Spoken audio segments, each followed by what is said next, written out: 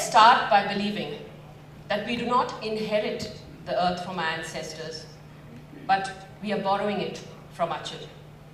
And I leave you with that thought today and would like to congratulate IAA for this great initiative they've taken.